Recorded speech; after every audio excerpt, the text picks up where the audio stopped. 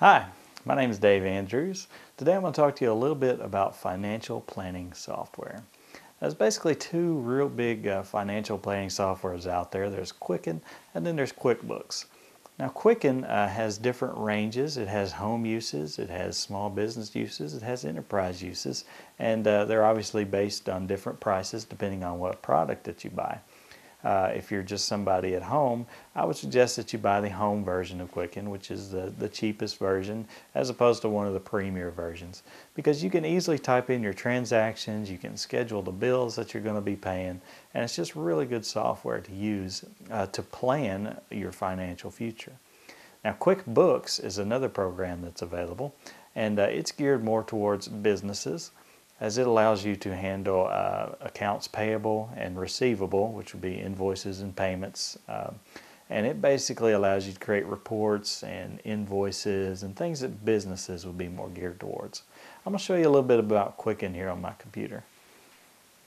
Now, Quicken is the uh, sort of the personal version for home use, and I have uh, Quicken uh, Home installed. This is the basic version, uh, and I'm able to very easily select my uh, checking account. If I had a savings account, it would appear here. Any uh, debts or property that I have uh, will appear here. And I can add an account very easily by clicking on adding account and choosing um, what bank it is and, and what type of account it is like that.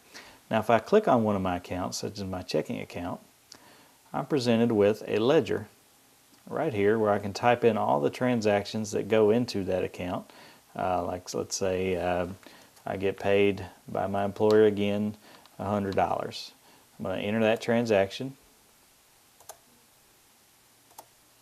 and I now have another $100 from my employer deposited and as you can see my checking account now shows 150.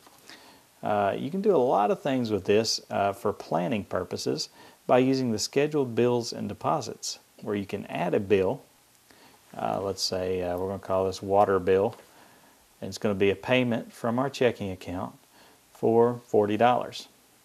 You're going to choose when it occurs. Let's say it's due on the 30th. And we want to be reminded three days in advance. We just click OK.